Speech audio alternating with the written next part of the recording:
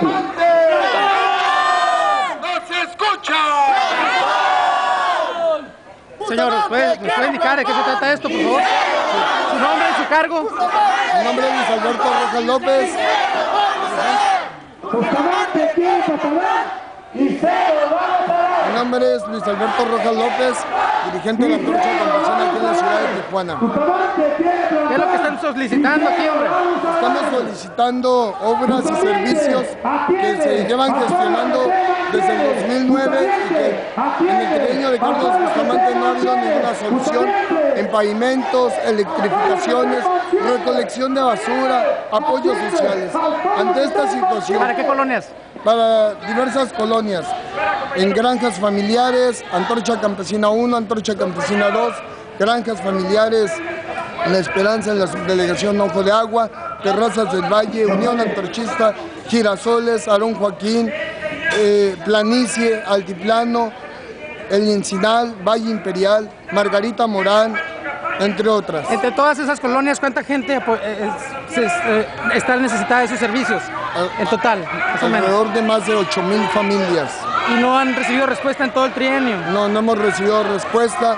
De hecho, el día de hoy mandamos una carta al señor presidente notificándole que en las diferentes delegaciones conocen los temas, saben los temas, pero no le dan continuidad.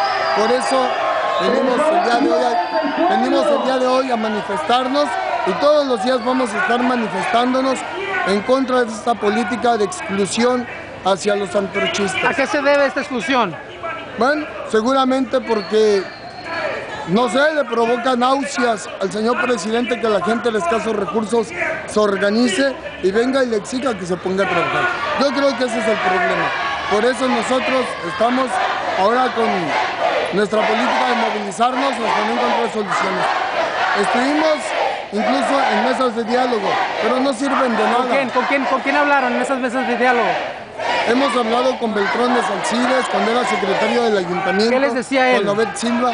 Iba a haber soluciones, incluso citaron a los diferentes delegados de la presa, del Centenario, de Playas, de San Antonio de los Buenos, de Sánchez Tahuada.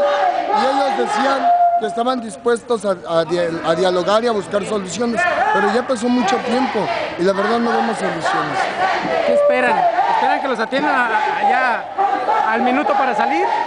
No, nosotros creemos que Carlos Bustamante no va a acabar su política de exclusión de un gobierno prácticamente fascista, ¿verdad? de odio hacia los pobres. Pero pues aquí vamos a estar recordándole si fuera necesario hasta el último día de su gobierno. Muchas gracias, señor.